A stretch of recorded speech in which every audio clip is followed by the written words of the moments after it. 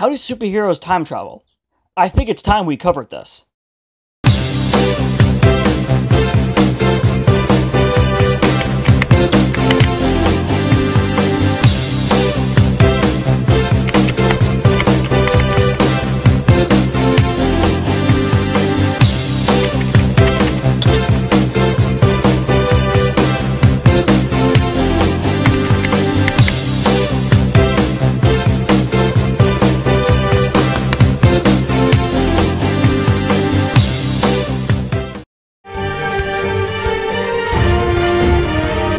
Behind time travel.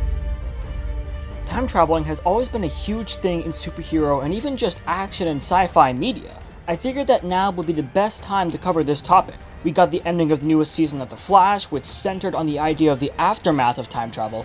We got Doctor Strange reversing time about half a year ago, and we even got the official ending of Samurai Jack this year, a show built upon the idea of time travel. There's a more practical reason that now is the absolute best time to cover this topic, but I'll get to that in a bit.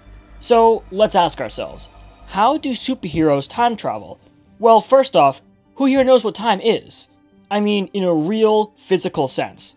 No hands? Maybe a few? Well, don't worry, because we're going to take a closer look at time. Time itself is not exactly something that can be easily imagined. We can all look at time as a clock or a sundial or a set of numbers, but those are all only measurements. We use tools like sundials and clocks and numbers to represent a construction of time we've set for ourselves so as to record the passing of events. Don't get it wrong, time does exist, but it's not bound to a clock or numbers. It's bound to space. Space-time, as it's been scientifically dubbed, was first thought of by H.G. Wells in his novel The Time Machine. In his book, H.G. Wells talked about a fourth dimensional force that contained up, down, forward, backward, and past and future. For those of you who want a better insight as to what I mean by dimensions, you can check out my video on Planet X. For those of you who don't want to spend time doing that, I'll give you a quick rundown. Dimensions are planes of existence that, theoretically, everything that exists is subject to. There is the first dimension, a plane of existence with only a flat plane that has points on it. Everything in this first dimension has no real size. The second dimension is a plane of existence where forward, backward, up, and down exist. Similar to what would be like being a stick figure. Finally, we have our third dimension, which we reside in, that possesses forward, backward, up, down, width, and depth. This is what gives our existence the ability to move in seemingly any direction. However, H.G. Wells wrote about a fourth dimension, in which the past and present are also traversable. This was eventually to become part of a real scientific theory, which was proposed by none other than Albert Einstein. So what does this have to do with space-time? Well, look at it like this. When an object, or anything for that matter, moves, it has moved in space. That is undeniable. However, it is impossible for something to move through space and not time. An object or an entity cannot be moved physically from one point in space to another, and yet not have moved at all from the position it started at during the point in time that it was at its starting point. It's impossible. Therefore, time and space do not exist independent of each other. Rather, they exist as a flat plane of space and time singularity, which expands over the entire universe. This flat plane is space-time. Space-time is actually the reason we have gravity, or at least we think it is. Objects with mass actually create dips in space-time, like you see here with this planet, and things orbit planets because they are rolling along these dips, like the moon here. So, what does this have to do with time travel? Here's where we segue into something very interesting. Recent studies have shown that time travel is mathematically possible. It involved bending space-time like bending a piece of paper. Something writing along this bend could effectively time travel by writing the curve back to a point where it was before. But because of the curve's nature, it is no longer going forward in space-time, but backwards. This, in the most basic sense, is traveling to the past. According to these studies, if there were some kind of time box around a traveling subject, time travel is possible. The subject would go forward in the space-time bend, like we see here, but would loop back around to a previous point. However, how this box will be able to bend space-time's curvature like this is a total unknown.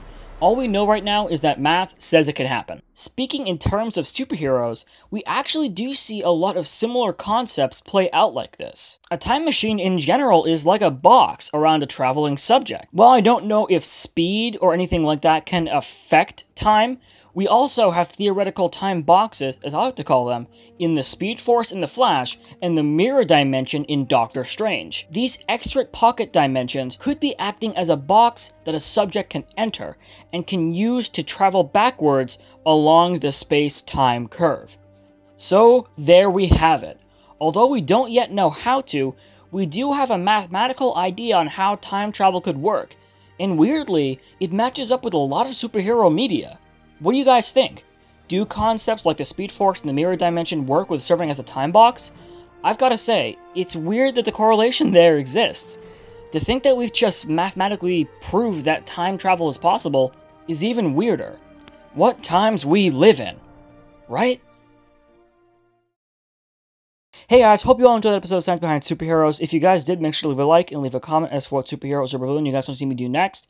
Uh, I'm actually going to do Wonder Woman next, but before like I even say any of that, I want to say how like incredible researching this video was. This is just... We have mathematically proved that, yes, time travel is, like, theoretically possible. This is absolutely, like, mind-boggling to me. Like, this is it. This is, like the culmination of almost all sci-fi fiction is leading up to something at this point. And we're like getting to a point where we're either going to fundamentally disprove or prove that we can time travel. And if we prove that we can, which we're getting closer to than disproving it, it's only a matter of time before we figure out how to. That's just I I can I words aren't enough to even like talk about how incredible that would be. I don't want to ramble for too long, so I'm just like expressing my words here. This is just. I have no words. I have no words. Um, if you guys want a better understanding, make sure to look up these studies. Uh, I'll, I'll leave some links in my description so you guys can read about them. Uh, this is incredible, guys. I just can't. I hope you guys had a lot of fun learning about it because I certainly did. Um, I'll see you guys in the next video. Next week, I'm going to do a Wonder Woman special. Um, I'll see you guys next time. Have a good one.